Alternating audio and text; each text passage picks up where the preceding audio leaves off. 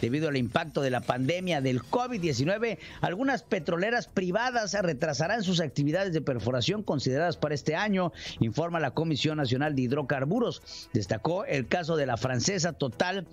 eh, que recalendarizó al 2020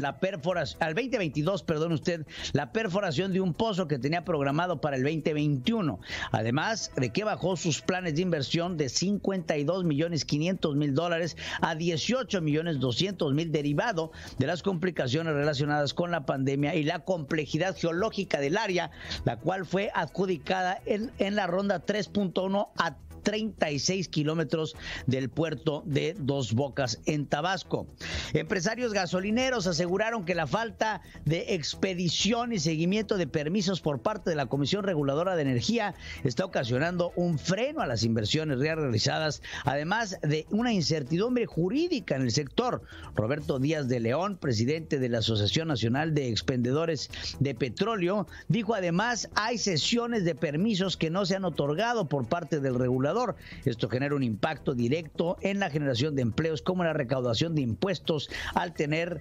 frenadas las inversiones. El pasado 18 de enero la comisión publicó un acuerdo en el diario oficial de la federación para suspender los plazos y términos legales hasta que la autoridad gubernamental determine que no existe riesgo epidemiológico por COVID-19. El líder de los empresarios gasolineros consideró que los más afectados serán las pequeñas y medianas empresas y que el sector tendrá que renovarse y adaptarse ante lo complicado que se ve el panorama.